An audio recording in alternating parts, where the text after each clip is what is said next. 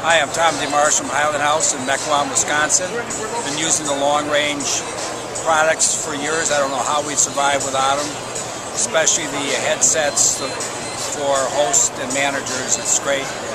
And the uh, customer pagers are incredible. Love it.